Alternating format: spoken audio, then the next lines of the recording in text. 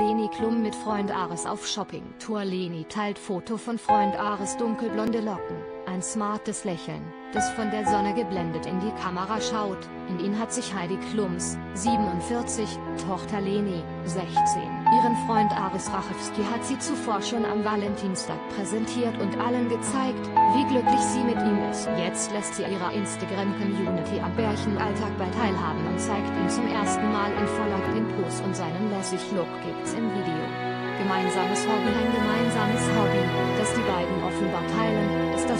als Nachwuchsmodel ist Leni Klum ja ohnehin am Puls der Modezeit und auch Freund Ares tut es offenbar seiner Freundin der